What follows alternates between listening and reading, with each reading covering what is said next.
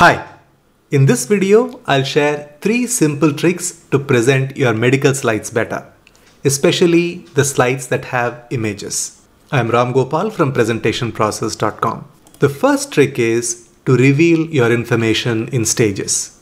Most of the image-based slides in medical presentations look like this. As you can see, all the information is presented in one go, which can cause audience overwhelm. If you take just a few moments to add relevant custom animation, you can present your slides like this. Today, let's discuss lobes of the brain. On a click, I introduce frontal lobe, give my explanation. Then on a click, I introduce parietal lobe, give explanation. Click, occipital lobe explanation, temporal lobe explanation, cerebellum explanation, and finally I introduce cingulate gyrus. As you just noticed, I introduced one topic at a time, gave enough time for the audience to understand just that portion, and then I moved to the next one on a click. That is the power of using simple custom animation to present your images like a pro. Now the question is, why do medical professionals use images like this? why don't they use custom animation? And that is because normally presenters click on the image they want to pick up, right click and go to copy image option and then go to their slides and then paste it like this. And when they do, they only get a PNG image like this. All you need to do is to take a moment and see if you have an SVG file of the same image available from where you're sourcing the image. If available, then you can go to open in media viewer and then download the original file. Can you see here? Download this file and here you will get the option for SVG image as well. You just click on that to download. You will get this kind of SVG image. You just copy and then paste the SVG image. Prima facie, PNG and SVG images look the same. But then the benefit of using an SVG image is you can right click and go to convert to shape option in PowerPoint especially when you use the recent versions of PowerPoint. When you choose that option, this is how the image breaks down. Now I can just take the portions that I want and then group them the way that I want. For example, here I have taken the text here and grouped it as one element. And then I have this element available separately, which is nothing but the shape fill option. Then I can select this, go to animations and say fade. And then I can have this appear maybe like say wipe from right and then I can make this as after previous. Now when I go to slideshow you can see that there is no fill here. On a click I can show the fill and then present the corresponding explanation. Can you see it makes the information so much easier for the audience to process. So whenever possible try and use SVG images, ungroup them and then apply custom animation to reveal your information in stages. Now, what do you do if you don't have SVG images? Do you still have the option of presenting your information in stages?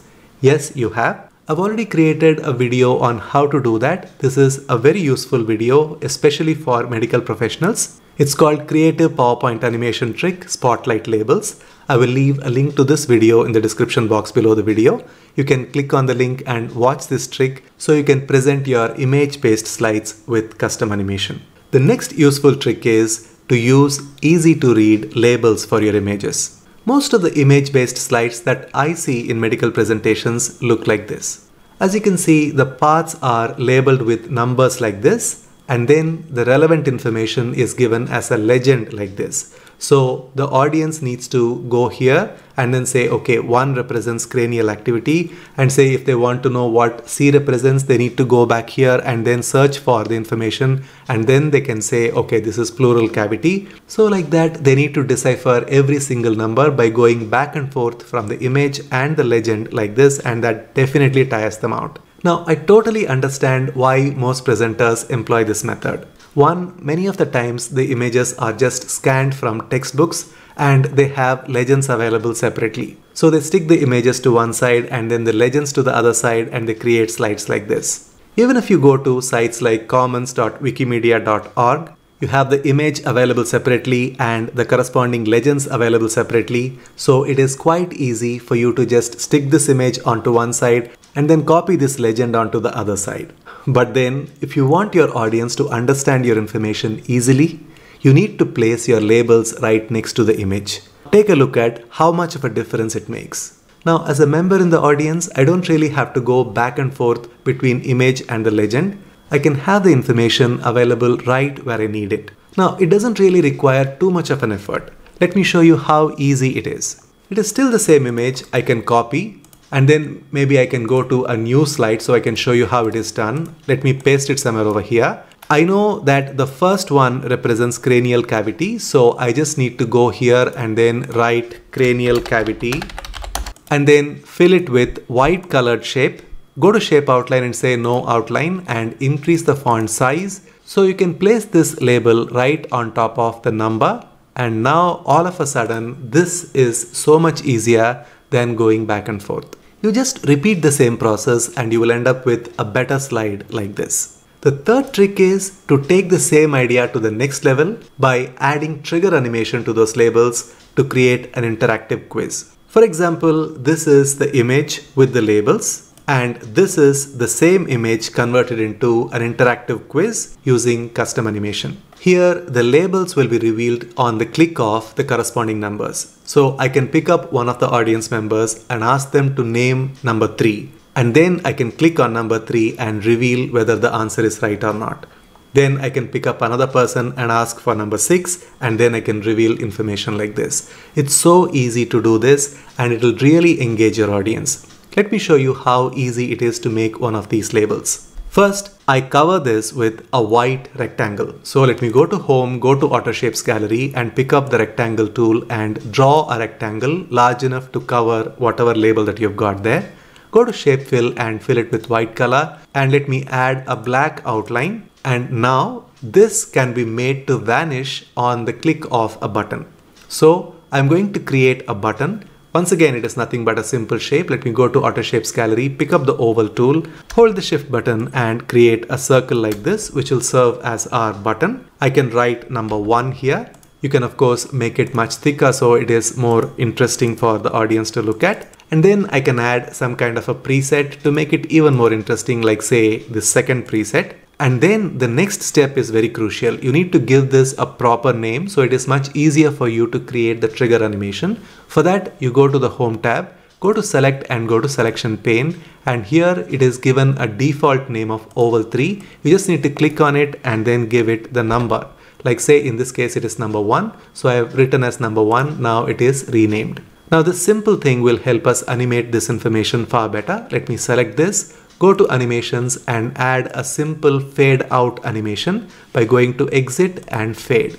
So this cover just fades out, but this happens on the click of this button. So how do we do that? You select that piece that you want to animate, go to trigger in the same animations pane and then say on click off and here we have already named this one as number one. So let me click on one and which means that only on clicking this, this will vanish. So let me go to slideshow. On the click of this button, this label will fade out. Can you see here? It is very easy to create this kind of an interactive animation and it will definitely make your slides far more engaging for your audience. If you want to learn more ideas like this, then I highly recommend that you sign up for our free 5-part mini training called How to Present Your Medical Slides Better. In that free mini training, I share some simple tricks that you can apply in your next presentation and make your audience really appreciate your information. And when you're ready and you want to take your presentations to the next level, you can consider getting our medical presentations templates bundle. This is a collection of more than 900 plus medical PowerPoint templates. Plus, I also give you four step neuro slide design training as part of this medical presentations bundle. So you learn how to engage your audience when you present your medical slides. You will learn simple and practical tricks to create your medical slides like a pro. There are numerous examples of slide makeovers of real life medical slides so you can understand the process in a hands-on fashion. I will leave a link to this product in the description box below the video as well. You can click on the link and check out more details about this. And finally, I recommend you to go to our presentation process YouTube channel and click on this playlist called Tips to Make Complex Medical Slides More Interesting and watch all these free videos and enhance your medical slide presentations. I'll see you in the next video.